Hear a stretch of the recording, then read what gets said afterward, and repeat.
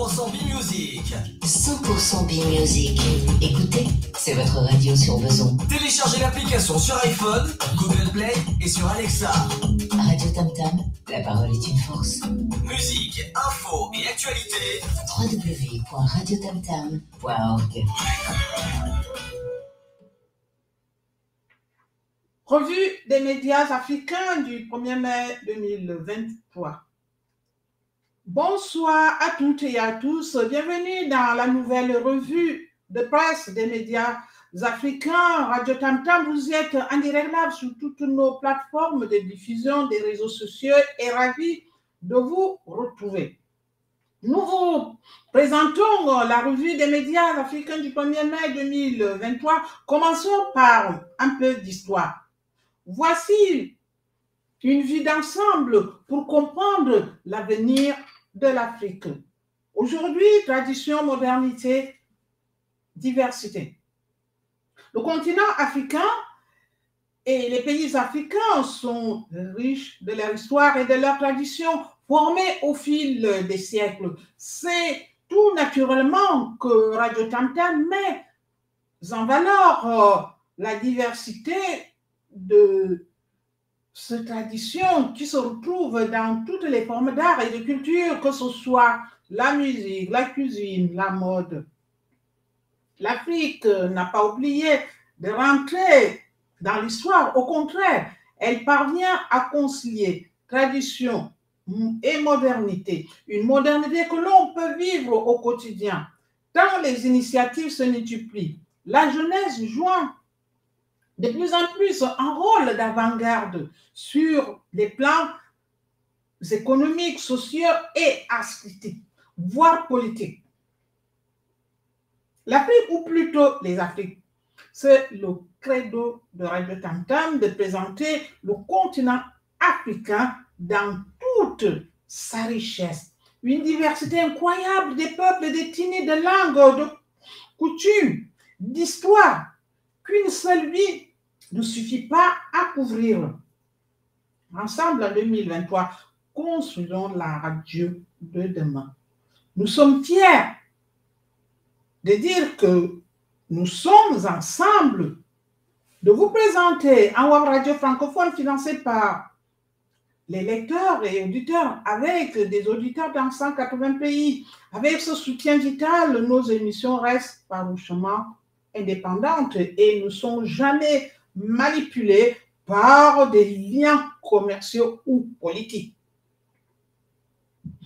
Et il est disponible gratuitement, car nous comprenons que tout le monde n'est pas en mesure de payer pour euh, les nouvelles, mais si vous l'êtes, nous avons besoin de vous. Investissez dans un journalisme de qualité afin que des millions de personnes puissent en bénéficier. Radio Tantam est un média en accès libre pour tous financé par les dons de ses auditeurs et de ses lecteurs. Vous souhaitez en savoir plus N'hésitez pas à flasher dans le Q-code que vous voyez là. Donnez une seule fois à partir de 2 euros ou mieux encore, alimentez-nous chaque mois avec un peu plus. Ensemble, construisons la radio de demain, images et son. Ensemble, réunissons les fonds pour construire la radio de demain. Ensemble, rassemblons-nous les fonds pour construire la radio de demain. Construisons ensemble l'Afrique dans le génie inventif et créatif africain. Voici ce que nous suivons aujourd'hui. Soyez parmi les tout premiers à écouter chez vous. Revue des médias africains. Bien, tout d'abord, comment allez-vous Bien, j'espère. Je suis ravie de vous présenter cette revue des médias de Radio Tam Tam à nouveau pour notre série sur la revue des médias africains numéro 134 du 1er mai 2023. Voici ce qu'il faut savoir à la une sur la journée du résumé Top Histoire aujourd'hui sur l'actualité car l'actualité est dominée par le Soudan. Le premier debout, Afrique orientale, Soudan. Le monde, avec AFP écrit, au Soudan, la situation humanitaire atteint un point de rupture selon l'ONU. Les affrontements entre l'armée soudanaise et les paramilitaires ont repris dimanche 30 avril à Khartoum alors qu'une trêve de trois jours qui n'a jamais été respectée a été reconduite pour 72 heures. Comme les précédentes, elle a été obtenue sous la sous médiation des États-Unis et de l'Arabie saoudite, a précisé l'armée dans un communiqué. Le secrétaire général de l'ONU, Antonio Guterres, a décidé d'envoyer immédiatement dans la région son responsable pour les affaires humanitaires, Martin Griffith. Selon celui-ci, la situation humanitaire atteint un point de rupture dans le pays.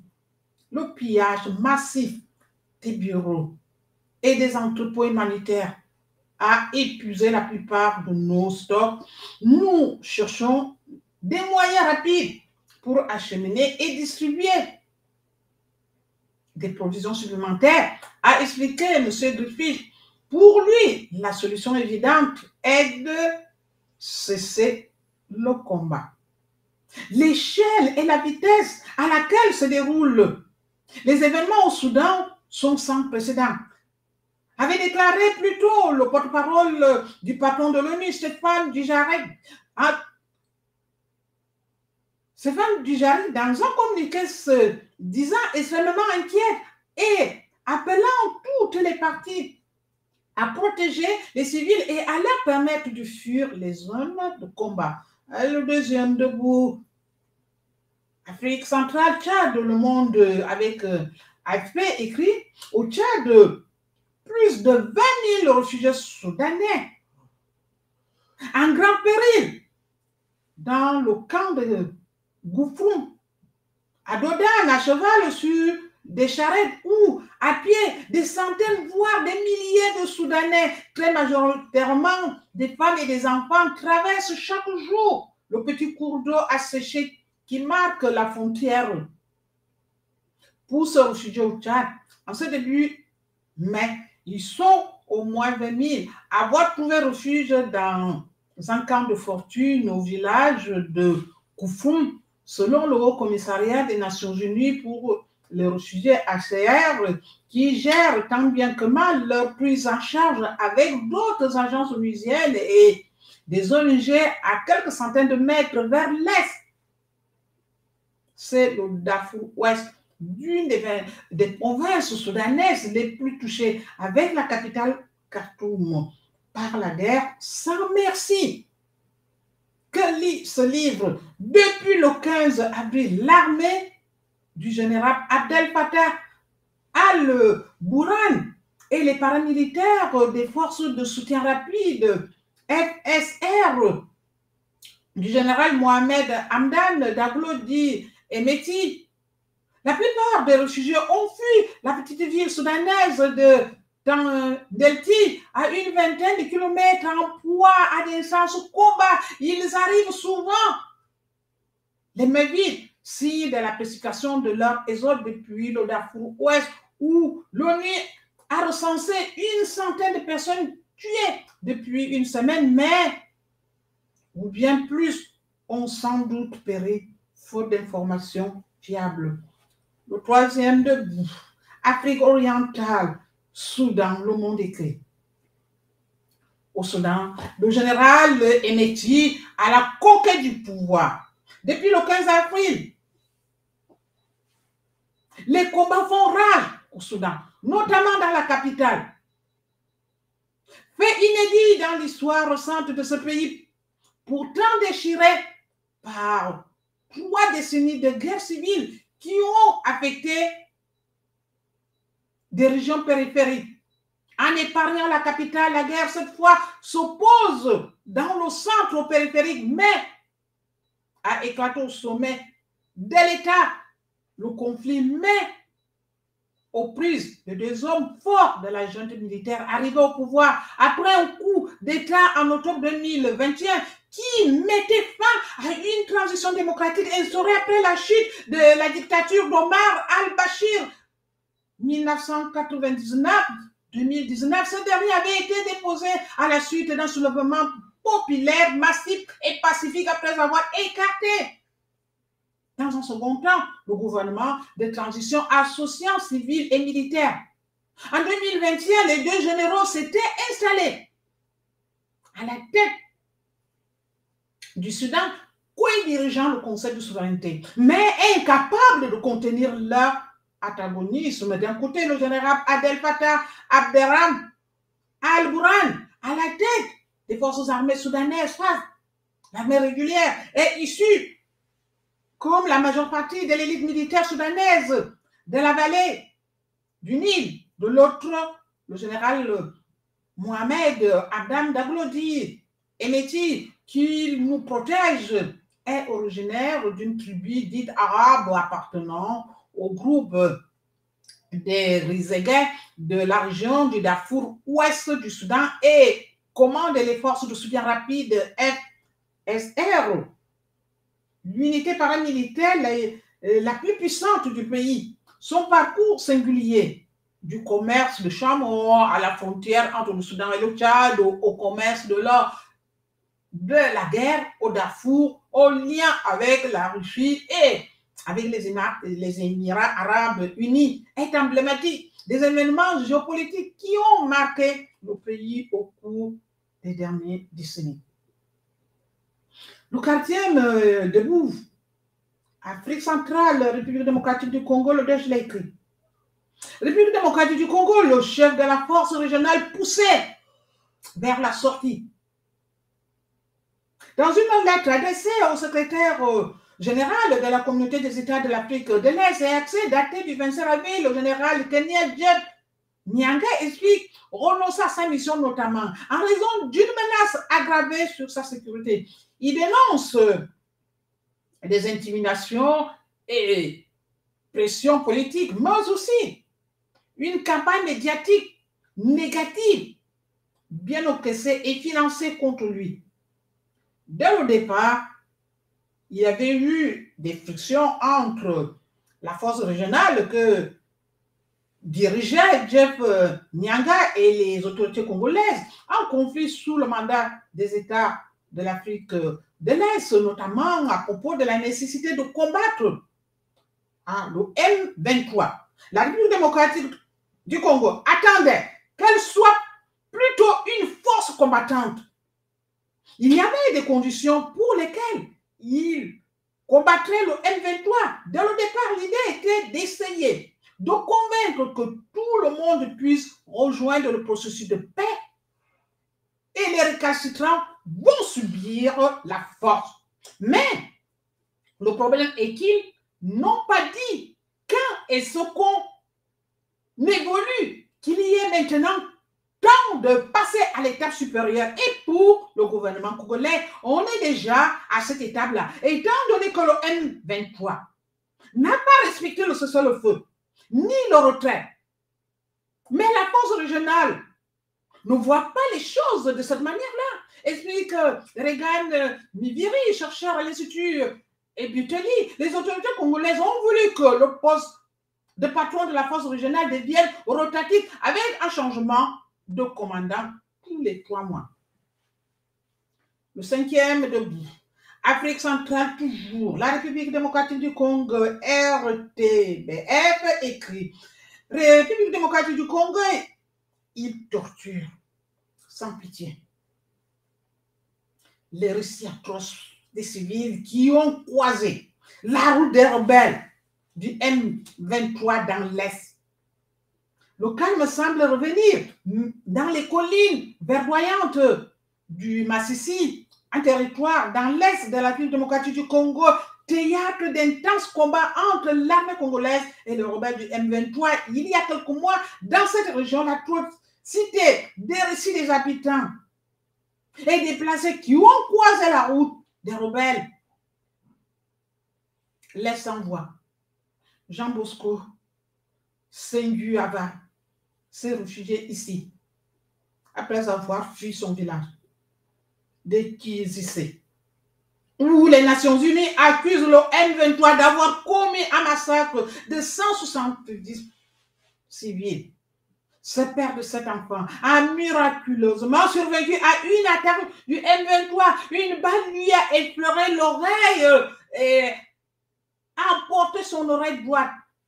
C'était au milieu de la nuit quand ils sont venus me prendre et ils m'ont sorti des toilettes et ne m'ont même pas laissé le temps de m'habiller. Après, ils m'ont mis à genoux et ont tiré une balle en me demandant de l'argent. Témoigne-t-il au micro de la RTBR.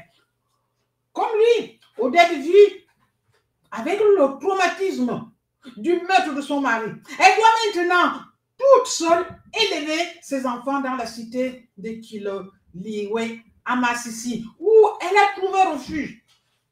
Est le sixième debout. Afrique du Nord, Tunisie, le monde écrit.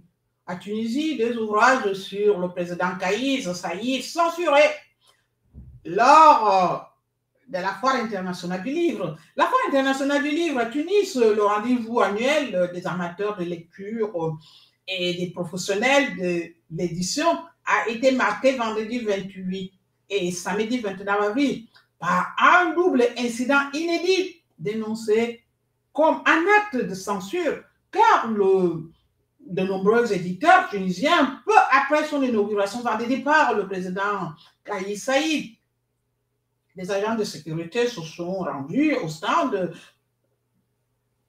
la maison d'édition Dar al-Kitab, la maison du livre, en exigeant la fermeture de celui-ci. Ils ont aussi saisi les exemplaires d'un de ces ouvrages. Le Frankenstein tunisien de Kamel Riahi, le lendemain, un second ouvrage s'est retrouvé dans le viseur des autorités. Caïs Premier, président d'un Bateau ivre, un essai paru en langue arabe en 2021 sous la signature du journaliste auteur Nizar Baloul a été retiré des étals de l'éditeur La Maison tunisienne du livre. Des agents sont venus au centre prendre quelques livres et, ont demandé le retrait du stock, rapporte M. Baloul. Le livre avait pourtant déjà son chemin puisqu'il s'agissait de sa troisième exposition au Salon du, Livre. En route, un exemplaire avait été envoyé à la présidence de la République lors de sa parution, ajoute M. Baloul. Le n'a toutefois pas été fermé, contrairement à celui de l'éditeur Dar El Kitab. Le septième debout, Afrique de l'Ouest, Mali, héritier écrit Mali, la société civile de Gao critique. Une demande de retrait de l'administration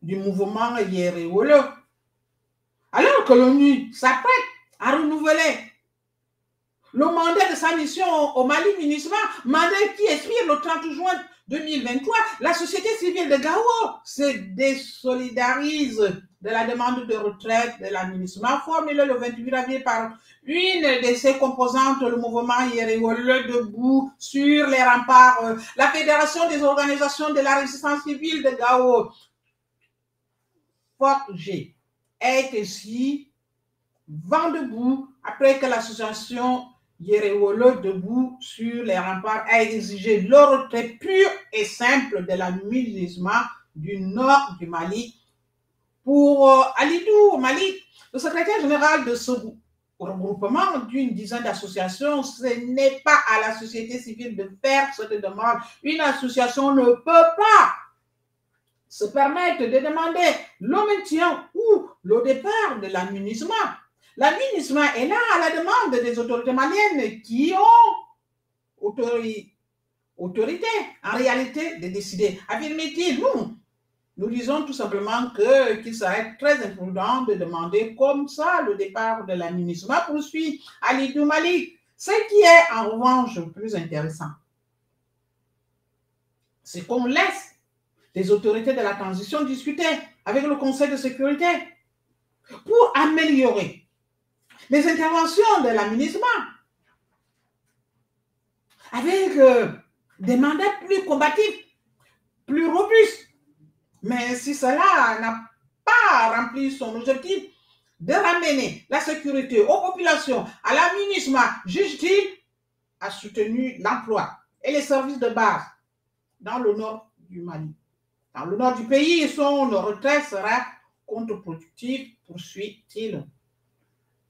Le huitième debout Afrique de l'Ouest, Togo, Dojlet écrit Les Togolais doivent s'attendre à un combat long. Les autorités togolaises qui ont décrété l'état d'urgence sécuritaire? Dans la région septentrionale ont annoncé l'année dernière consacrer 330 milliards de francs CFA sur les trois prochaines années à la défense, notamment pour faire face aux nouvelles contingences sécuritaires. Et dans sa sortie, le président togolais a mis l'accent sur les stratégies mises en place par son pays, dont l'opération Unjare, lancée en septembre 2018 dans le nord euh, du pays pour faire euh, face au ménage djihadiste, mais qui a changé de posture. C'était une posture préventive d'abord, euh, après défensive et maintenant l'OTAN, de temps en temps. Nous sommes aussi à l'offensive, a précisé Fort Nyassimbe, expliquant que la stratégie de son pays pour éviter les attaques terroristes n'est pas uniquement militaire. La stratégie du Togo a aussi une dimension sociale avec la mise en, œuvre des différents projets de développement en faveur des populations, notamment euh, les plus vulnérables, a précisé le président togolais. La région euh, des savanes la plus exposée à la menace euh, terroriste est la plus pauvre du pays a fait l'objet d'un programme d'urgence de développement dont le montant est estimé à plus de 16 milliards de francs CFA, 24 400 millions d'euros, selon euh, les autorités togolaises, des forages doivent être creusés, des lampadaires solaires installés et des unités de soins périphériques sont également planifiées. Les hôpitaux existants devraient avoir leurs moyens renforcés et les pistes rurales sont en chantier pour désenclaver la zone. Ah. Allez, le 9e debout, Afrique, euh, la voix de l'Amérique écrit 60 directeurs de musées africains européen crée un réseau d'échanges. Cette rencontre inédite, par sa forme et son ampleur, s'est déroulée alors que plusieurs pays européens ont entamé un processus de restitution du patrimoine pillé à l'Afrique durant la période coloniale. Le patrimoine, il faut faire en sorte qu'il ne soit pas un espace conflictuel, mais un espace de dialogue, a déclaré lors d'une conférence de presse Amadi Bakoun, directeur du musée des civilisations noires du Sénégal. Il ne faut pas seulement voir en termes d'éléments de restitution. Oh, les pays africains ne doivent pas rester dans la perspective de subordination. Pensez que notre patrimoine se trouve dans les musées européens. L'Afrique continue à produire on doit continuer à faire des collections d'art africain, d'art contemporain, pour que demain, on ne nous dise pas qu'on nous a volé. À nouveau, a-t-il ajouté, nous ne voulons pas centraliser la colonisation. Dans le narratif de l'histoire africaine, a-t-il aussi affirmé, évoquant une parenthèse au regard de l'histoire millénaire du continent. Dans leur déclaration commune, les directeurs de musées s'engagent à mutualiser leurs efforts pour documenter, préserver et réinterpréter les coalitions en Afrique et en Europe et à les mettre à, disposition du public par la numérisation, la recherche, la pédagogie et des expositions. Donc, on se revoit demain pour une autre euh, émission de revue de presse. N'oubliez pas de télécharger notre application. Tam Tam, 100% B-Music. 100% B-Music. Écoutez, c'est votre radio sur besoin. Téléchargez l'application sur iPhone, Google Play et sur Alexa. Radio Tam Tam, la parole est une force. Musique, info et actualité. www.radiotamtam.org